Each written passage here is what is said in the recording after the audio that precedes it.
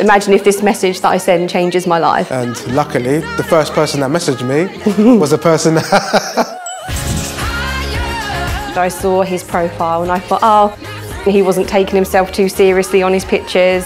I accidentally blocked her, yeah. So we was talking in between and I blocked her. I was like, I've got a missed call from you. And he said, oh, that I didn't mean to, it was an accident. And that was our first conversation. From then we just spoke every day after that. I had a speaker and I had a colleague with me, so she, he was like, who's that? She sounds really nice, sort of thing.